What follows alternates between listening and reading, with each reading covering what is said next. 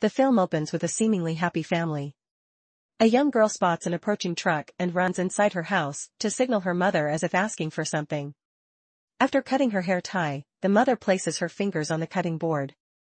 The girl skillfully ties knots using the hair tie, and we notice the mother's missing ring finger.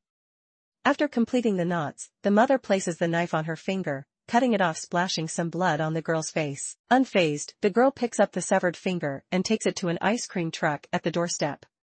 With an eerie smile, she places her mother's severed finger on the windowsill.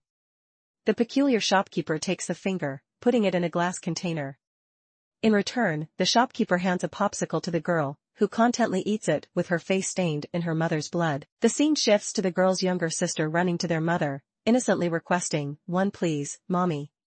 In front of the ice cream truck, a chilling sight unfolds as children line up to exchange their parents' fingers for ice cream. The little girl stands at the end, patiently waiting for her popsicle.